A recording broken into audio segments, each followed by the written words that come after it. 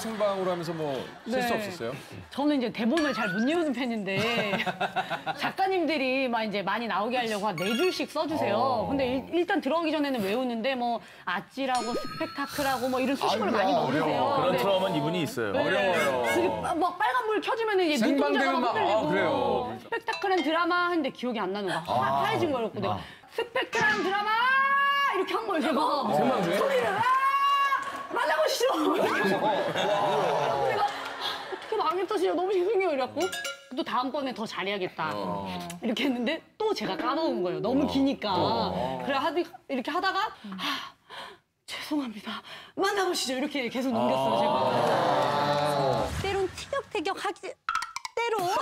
네 죄송합니다. 네 약하더라고 왜냐면 공개 코미디는 이 앞에 사람들이 막 반응을 맞아, 해주잖아요 맞아, 맞아, 막 맞아. 무건을 해주는데 이 빨간불에 의지하면서 내가 하려고 하니까 눈이 자꾸 흔들리는 맞아 맞아. 아, 신경 쓰여요. 아, 공감된다, 공감된다. 어, 승혜 씨가 지금 그 뭐 알고 보니 네. 크고 작은 실수들이 되게 많네요. 어때요? 그 메꾸면 되죠 제가. 어때요? 그 메꾸면 되죠 제가.